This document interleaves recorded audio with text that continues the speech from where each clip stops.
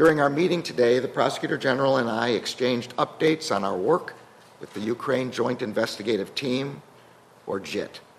Anchored by a partnership between seven countries, the JIT is investigating core international crimes committed in Ukraine.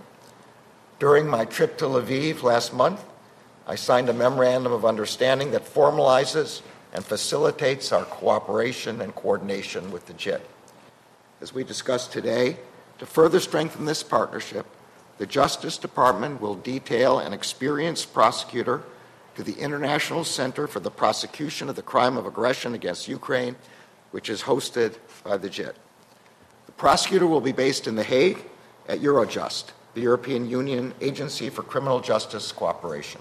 Our Ukrainian colleagues are also assisting us with our investigations that are led by the War Crimes Accountability Team into potential war crimes over which the United States possesses criminal jurisdiction. These include crimes in which American citizens have been harmed or killed.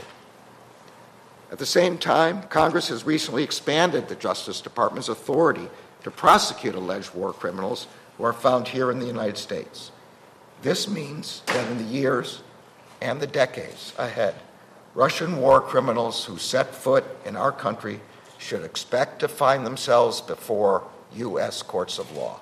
We will do everything we can to help Ukraine achieve justice for its people, and we will work for as long as it takes to hold accountable under law those who bear responsibility for the Russian regime's brutal crimes. Our common goals are to build a web of comprehensive accountability for international crimes, allowing no impunity for war crimes, crimes against humanity, genocide, and the crime of aggression, and to strengthen global coalition for justice so that there are no safe havens for perpetrators anywhere in the world.